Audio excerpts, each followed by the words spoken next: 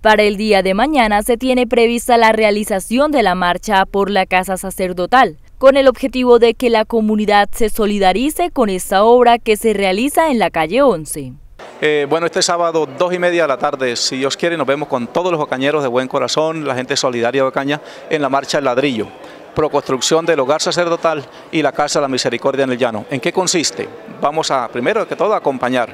Segundo, a colaborar con 600 pesos que nos cuesta un ladrillo colocado aquí en la obra, comprado aquí en la ladrillera Ocaña, pues apoyando también lo nuestro. Dos y media de la tarde en San Francisco, llegamos aquí a la, a la capilla de la Torcroma y allí pues hacemos entrega de los ladrillos que todos vamos a traer.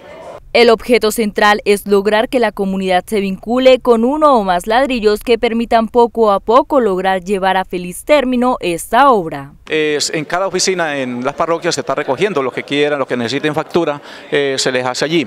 Mil ladrillos cuestan allí puestos en la obra 600 mil pesos. Entonces si una empresa, una persona a título personal o a título de la empresa quiere hacer la donación y necesita factura, van a la oficina, cualquier despacho, aquí en la catedral, en cualquier oficina, allí reciben su ofrenda y le dan el respectivo eh, comprobante o también el mismo día lo pueden hacer allá en la marcha que vamos a hacer. Esa es la invitación que hacemos para todos los ocañeros de buen corazón. Desde las 2 de la tarde en la plazoleta de San Francisco se dará inicio a esta marcha para lograr el objetivo de la construcción de la casa sacerdotal para el beneficio de la población necesitada en Ocaña.